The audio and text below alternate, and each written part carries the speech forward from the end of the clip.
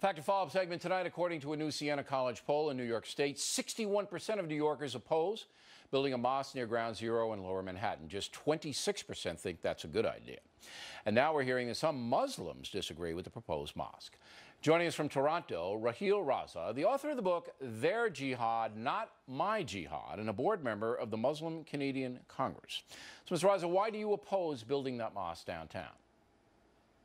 Well, I, I oppose the idea along with other members of the Muslim Canadian Congress because it's confrontational, it is in bad faith, and it doesn't uh, really set up any kind of dialogue or discussion on tolerance. Well, the uh, pro mosque forces, including the mayor of New York City, say number one, to deny the mosque would be a uh, you know slap in the face of freedom of religion, and number two, the reason that the community center mosque is wanted there by the Muslims involved is to show respect, respect for the victims of 9/11. You're not buying that?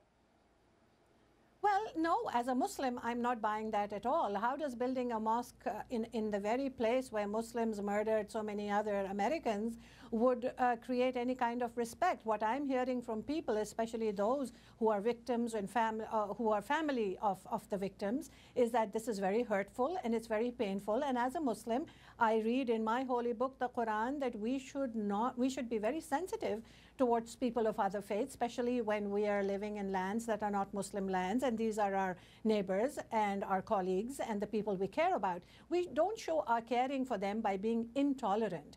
Uh, building a mosque or a place of worship in the particular spot across the street from Ground Zero is a slap in the face of all Americans. I mean, New Yorkers have um, experienced this pain, and the people who are behind this project are themselves Americans and New Yorkers.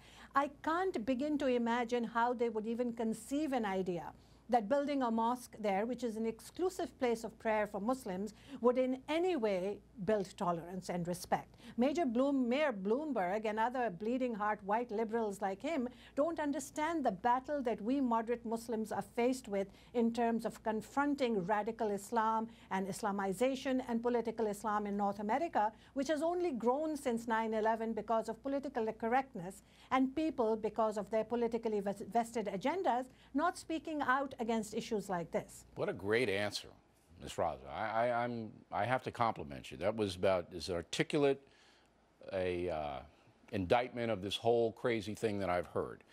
Some say well, one doesn't hold back say, when hold, no, listen, I, I yes. am complimenting you because it you you really you. well stated. That was very well stated.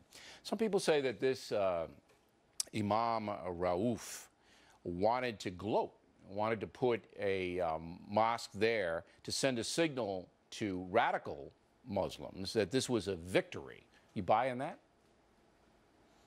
Well, it could be. Um, Imam Faisal Abdul Rauf has previously had a reputation for being a very pluralistic, visionary man. I will say that for him. So it came as a double surprise when I heard that he and his wife were the sort of brains behind this idea. But you know, $100 million can help people sell their souls. So who knows what goes in the minds of people? And the big question that we have also is where is this funding coming from?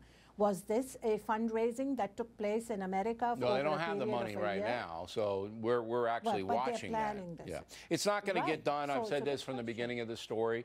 I don't think there's a construction crew in New York City, certainly not a union crew that right. is going to work on this project. I don't think it's going to happen. But I respect you uh, coming on, Ms. Raz. I know how difficult it is, and there are some in your community who will condemn you for doing it. But you, you really nailed it. This is about sensitivity. It's about Muslims yes. obeying the Koran uh, and going Absolutely. out of their way to be hospitable to people who, you know, may feel pain in a certain measure. Thanks, Ms. Raza. We appreciate Absolutely. it very much.